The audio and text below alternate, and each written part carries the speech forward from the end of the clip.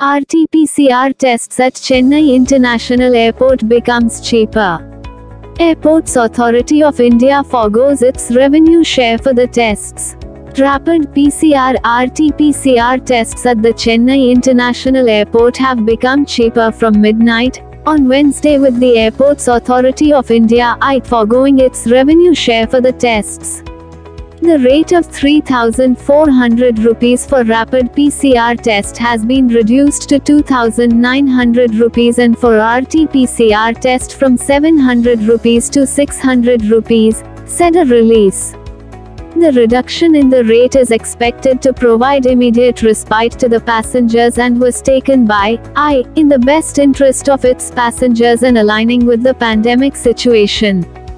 In view of the new variant of COVID Omicron, both the central and state governments have issued fresh guidelines for international arrivals wherein RT-PCR has been made mandatory for all passenger arriving from at-risk countries and random check of 2% of total flight passengers arriving from non-at-risk countries.